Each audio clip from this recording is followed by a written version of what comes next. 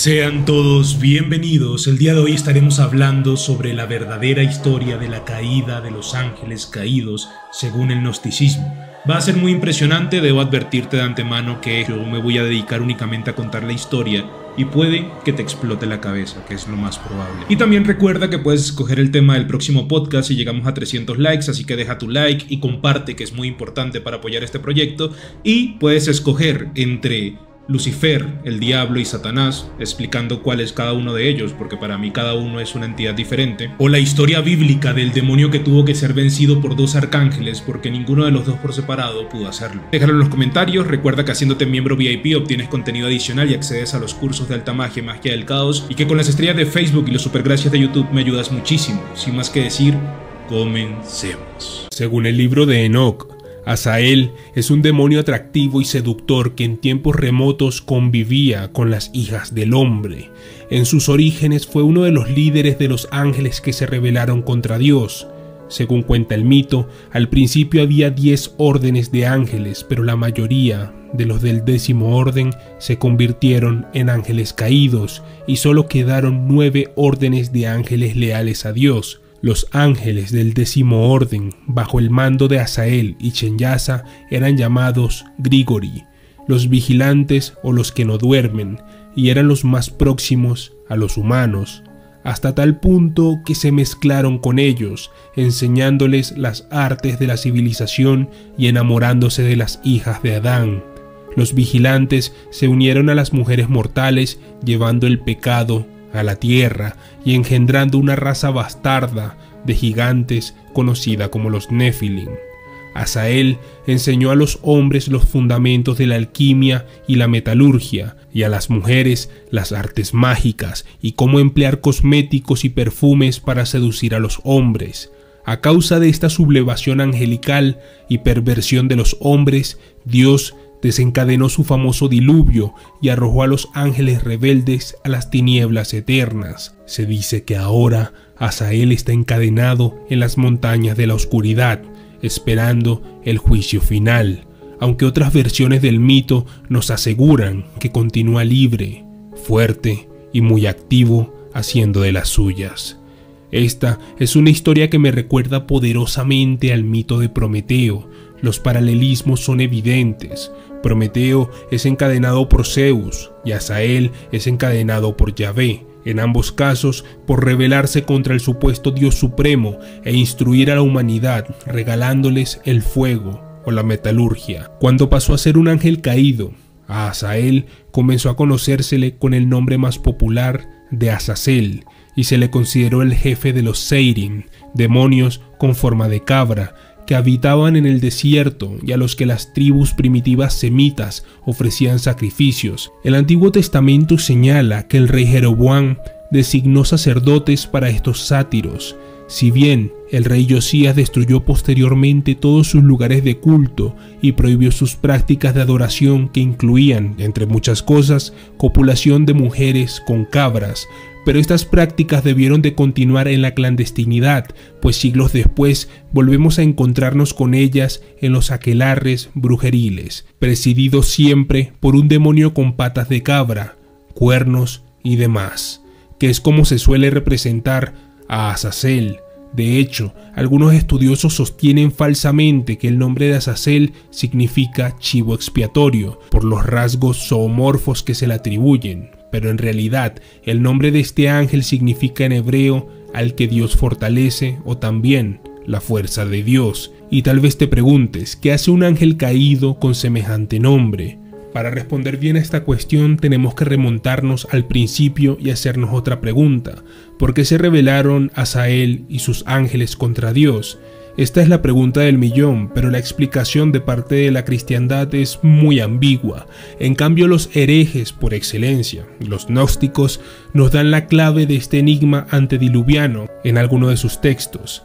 En mi opinión, su versión es mucho más convincente. Según los gnósticos, al principio de los tiempos, Dios se fecundó a sí mismo, dividiéndose y dando a luz a su parte femenina, la diosa Sofía. Sofía creó el mundo celestial y tuvo numerosos hijos, los ángeles. Se convirtió en la amante de sus hijos y tuvo más hijos con ellos, que a su vez también se convirtieron en sus amantes y así hasta el infinito. Los ángeles a su vez crearon el mundo material siguiendo las instrucciones de Sofía. Los más amados por ella llegaron a ser seducidos hasta la obsesión por los secretos de la unión sexual, pero la diosa se cansó pronto de esta búsqueda sensual y volvió a su fascinación original por el Padre, olvidándose de su función original que era crear más ángeles. Rechazados, despechados y celosos de Dios, muchos ángeles se rebelaron convirtiéndose en demonios. Esos ángeles rebeldes estaban liderados por Satanael, en su día el ángel más amado por Sofía, que usurpó su poder. Hubo una guerra en el cielo entre los ángeles leales a Sofía y los ángeles rebeldes que apoyaban a Satanael. Ganaron los rebeldes que convirtieron a Satanael en el nuevo Dios.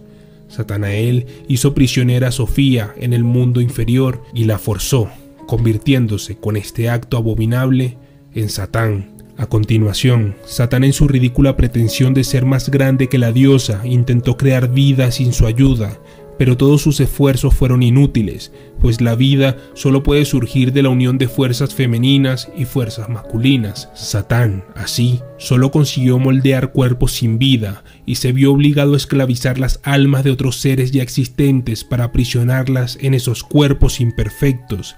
Esos seres fueron los dos ángeles más hermosos de los cielos, Adán y Eva, los padres de la humanidad, por tanto, nosotros, sus descendientes, somos todos ángeles caídos.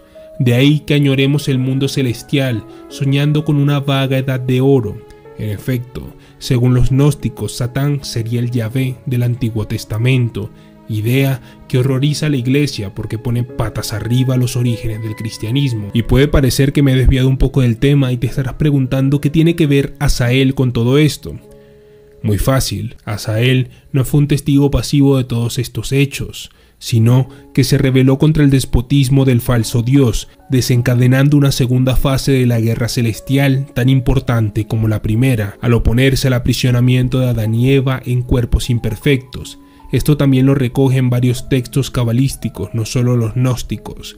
Por atreverse a protestar, Asael y los suyos fueron desterrados por Satán al mundo inferior, donde no tardaron en mezclarse con los hijos de Caín. Pero el verdadero crimen de Asael, aquel que le condujo a la ruina, se dio una vez en la tierra, al revelarle a los hombres los secretos del cielo, es decir, al instruirles sobre la inmortalidad del alma, recordándoles su origen celestial con el fin de liberarles del yugo de Satán.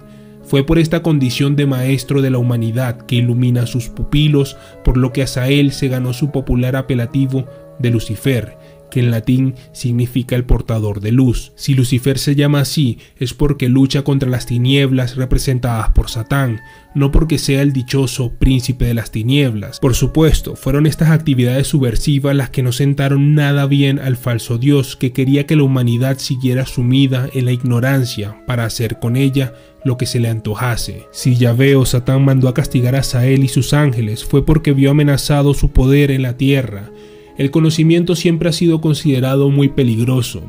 Ya ven, este fue el imperdonable crimen de Lucifer. Ya se sabe que la historia la reescriben los vencedores. Pero ¿hasta qué punto fue vencido Asael? ¿Sigue encadenado en las montañas de la oscuridad o campa sus anchas por el mundo? Y su prole, los Nephilim, realmente murieron ahogados en el diluvio. ¿No hubo ningún superviviente?